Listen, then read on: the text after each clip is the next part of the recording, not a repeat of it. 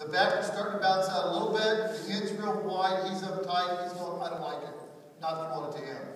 So now he goes, I'm going to read that guy whether I'm going to give him the ball or throw him the ball. bounce out, Shoulders slightly turned, hand the ball off to the back, and let him run. So that's